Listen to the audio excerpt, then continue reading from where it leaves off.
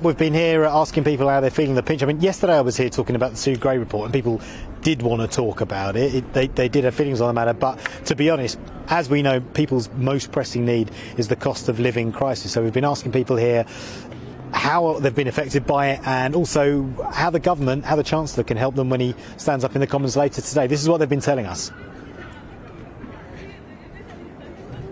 So everything's going up.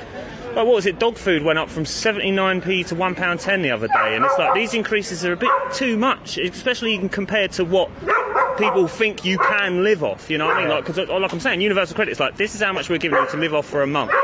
Now it's like uh, I'd spend all of that on just travelling in and out of London every day. Yeah. Do you know what I mean? And food, and like especially being homeless, it's not like I can buy food cheap and store it in a refrigerator and keep it. Yeah. You know, like if inflation's going to go up, then minimum wage needs to go up at the same rate. Surely they need to be balanced out, but trying to turn off all the lights that at least we don't yeah. need, especially she gets onto that yeah. pretty quickly. Well, you keep the lights on, or, or you're, no, he does. I do, and then you keep them on, you turn them off. Yeah, right. and yeah, but to be honest, we can't do a lot about this issue because it's the building and how the system is built about it, and there's only so much we can do to reduce our costs about that. But. You're all right at the moment. I'll be all right, yeah, till I pass away. Right. Okay. And what about? And, and are you finding other things are getting expensive? Food, that kind of thing, fuel, um, driving your car. pension, so. Okay. So you so you're doing all right actually at the moment. You're not really well, I'll struggling. Always say, I'll always say no. Okay. Why is that?